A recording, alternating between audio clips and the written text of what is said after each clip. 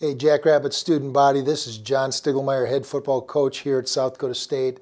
I want to thank you for helping us win this last Thursday night. You're part of a record student attendance. You made a huge difference in the game. So for that, we're very appreciative. See you at the next home game. Go Jacks.